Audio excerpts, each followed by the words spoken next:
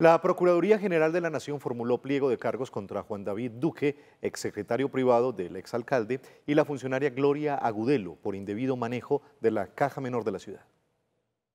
Lo que comenzó como denuncias en redes sociales continuó en el Consejo de Medellín con la declaración de insubsistencia del primer y único funcionario público hasta el momento. Ahora, este caso llega a la Procuraduría que recopiló las faltas e irregularidades que podrían dar lugar a imputaciones legales contra los involucrados. Se pudo establecer que Duque García, en su calidad de secretario privado del despacho del alcalde, autorizó el uso de recursos para pagar servicios adquiridos en restaurantes los días sábados, domingos y feriados. Sin embargo, se observa que al parecer dichos servicios no cumplían con las características de ser urgentes, imprescindibles o necesarios. El exconcejal Alfredo Ramos sostiene que aún queda mucho por investigar y espera que se imponga una sanción más severa. Adicionalmente, creo que hay que mirar temas penales, porque eso se llama un peculado, es decir, cuando se utilizan recursos públicos que pagamos los ciudadanos de Medellín para el beneficio personal, sea del alcalde, sea de su familia, sea de los secretarios de despacho de sus familias, sin duda hay un peculado.